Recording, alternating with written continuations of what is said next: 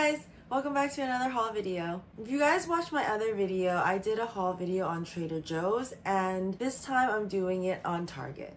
In the end, that was kind of a disappointment. This time has made me very, very happy to the point where I couldn't even hold off and I tried pretty much all the cookies already.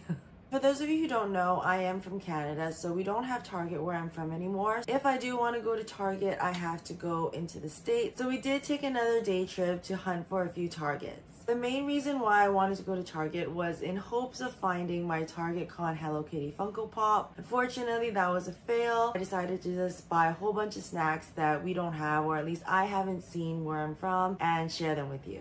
When we had a Target, I went there quite often. It was right across my workplace. Like I said, I've tasted all of these already, but let's take a closer look. This is the Pepperidge Farm Verona Apricot Raspberry Thumbprint Cookies. I don't see many apricot flavored cookies, so when I saw this, I had to get it. This brand naturally is a bit pricier, but the softness of the cookie and the chewiness of the jam makes it worth it.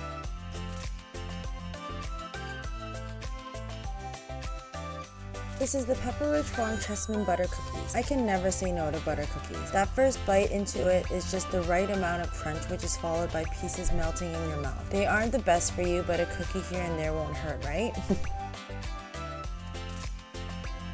This is the Chips Ahoy Chewy Chocolate Chip Cookies with Reese's Peanut Butter Cups. If you watch my Trader Joe's haul, you'll know how much I love peanut butter, so of course I love Reese's. That paired with soft chewy cookies definitely signed me up, but I have to say I wouldn't ever pay this price for the Chips Ahoy flavors we have at home because it is a bit pricey. This is the Oreo Sandwich Cookies with lemon cream. I don't see many lemon flavored cookies either, so of course I had to try. It's got a nice flavor, not too strong, not too artificial tasting. Some people don't like the white cookies, but I actually enjoy it. It's a good, not so sweet go-to snack.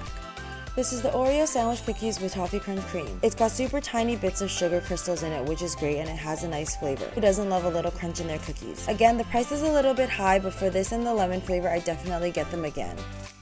This is the Dannon Danimals Mixed Berry Kid Smoothie. My baby absolutely loves this and she slurps it up so fast. I only wish we had this at home so I could get this for her all the time. An added bonus is that the bottles are so cute that I washed and cleaned them out so my baby can use them during our tea parties.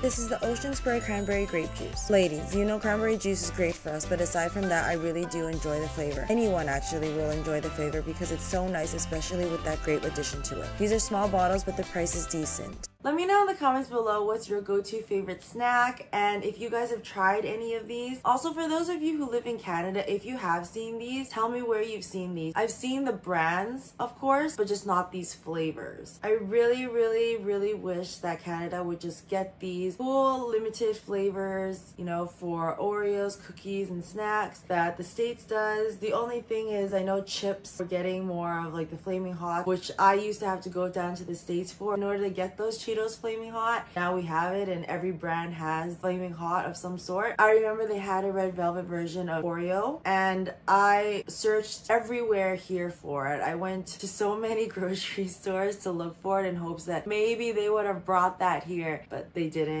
or I missed it or something like that. But I'm glad that Target is fairly close by. I mean, I guess I would say because I love snacks so much that it's worth it. If you guys like these kind of videos, let me know in the comments below because I love department stores and I find that that's more fun than just, you know, going to Trader Joe's or something. You get a little bit of everything. You get toys, you get food, you get clothes, you get home decor. It is really fun and it's a trip that lasts longer, let's just say, than going to just the grocery store. If you guys like this video, please give it a thumbs up. Click on that subscribe button to get notified for more videos and I'll catch you in the next video. Thanks for watching everyone. See you guys later. Bye!